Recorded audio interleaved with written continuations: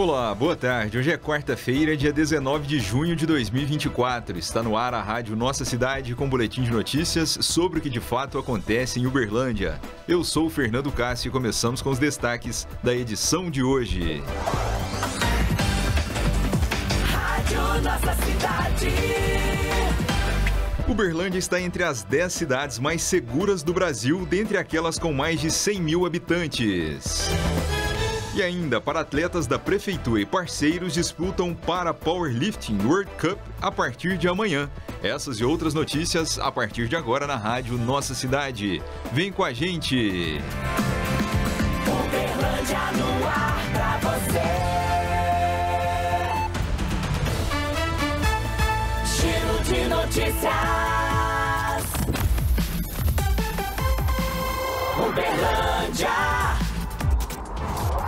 Destaque Nacional.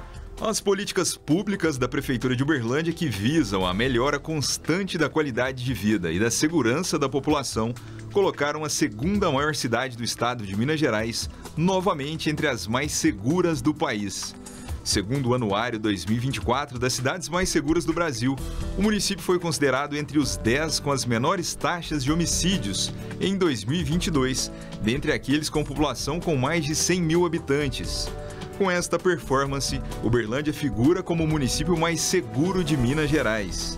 O estudo, produzido pelo Instituto de Pesquisa Econômica Aplicada, o IPEA, e divulgado ontem, tem como referência dados do Instituto Brasileiro de Geografia e Estatística, o IBGE, e do Ministério da Saúde. A posição de destaque de Uberlândia no levantamento é fruto dos investimentos da gestão municipal em segurança pública e da diretriz governamental que prioriza a parceria do município por meio da Secretaria Municipal de Segurança Integrada e demais secretarias com os órgãos de segurança como Polícia Militar, Polícia Civil, Federal, Rodoviária Federal e Corpo de Bombeiros. O ranking, que se baseia no censo 2022 e em levantamentos do Ministério da Saúde, considerou a incidência de óbitos violentos a cada grupo de 100 mil habitantes. Na classificação, Uberlândia, com incidência de 4,9 assassinatos a cada 100 mil habitantes, ficou à frente de municípios como São José dos Campos, com 7,9 a cada 100 mil, Ribeirão Preto com 10,9 e Joinville com 19,7, além de capitais como Florianópolis com 8,9, Cuiabá com 15,2 e Curitiba com 21 mortes violentas a cada 100 mil habitantes. Uberlândia. Destaque Nacional. Para atletas da Prefeitura e parceiros disputam a Para Powerlifting World Cup a partir desta quinta-feira. Para atletas da equipe da Prefeitura, formada por meio da parceria entre Fundação Uberlandense do Turismo e Esporte Lazer, a FUTEL, Clube Desportivo para Deficientes de Uberlândia, CDDU, e Praia Clube disputam a partir desta quinta, dia 20, a Para Powerlifting World Cup 2024, competição que será realizada em Tbilisi, na Geórgia, até o dia 26 de junho. A Futel CDDU Praia Clube é representada pelos alterofilistas Caroline Fernandes, Lara Lima, Matheus Silva, Tayane Medeiros e pelo treinador e profissional de educação física da Futel, Everton Santos. A disputa será a última antes dos Jogos Paralímpicos de Paris, que acontecerão entre os dias 28 de agosto e 8 de setembro. Na primeira competição internacional do ano, no início de março, disputada em Dubai, nos Emirados Árabes Unidos, os atletas de Uberlândia conquistaram quatro medalhas, sendo duas de ouro com Tayana Medeiros, uma de prata e outra de bronze com Lara Lima. Os paratletas treinam no SESI Gravatás, espaço que integra o sistema FIEM que está sob responsabilidade da FUTEL, com acompanhamento de profissionais de educação física da autarquia.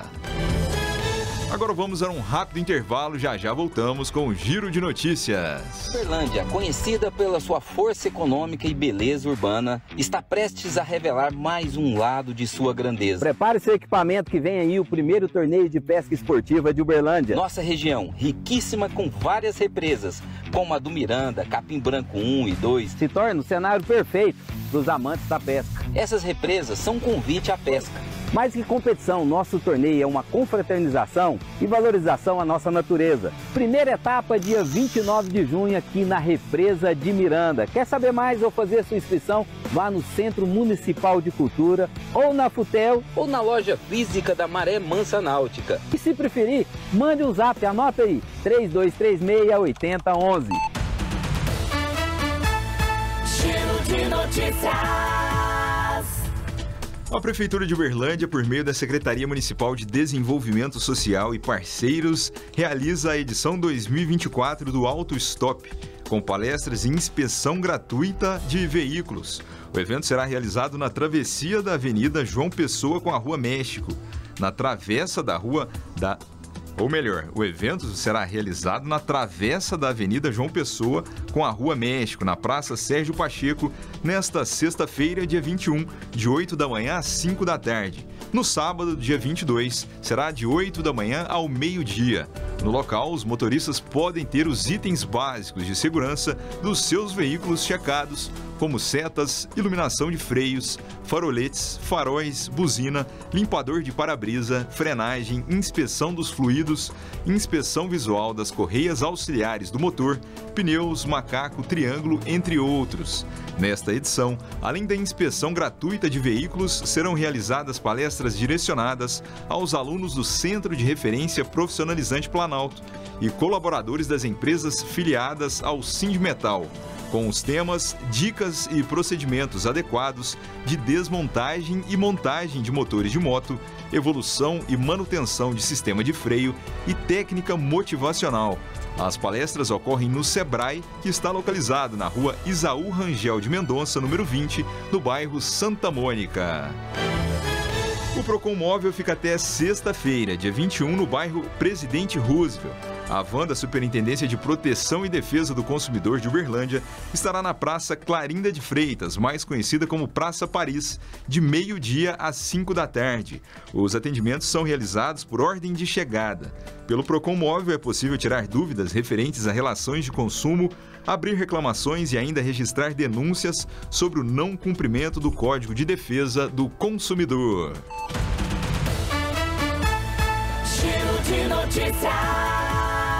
A edição de hoje fica por aqui. Rádio Nossa Cidade, jornalista responsável pela edição Fernando Cássio, tradução em Libras Amanda Valentim, responsável técnico Cristiano Silva, secretário municipal de Governo e Comunicação Marco Túlio de Castro Kalimann, Prefeitura de Uberlândia. Fazer mais, fazer bem. Até a próxima. Fica por aqui mais uma edição do programa da Rádio Nossa Cidade. Continue conosco no portal da Prefeitura e nas redes sociais.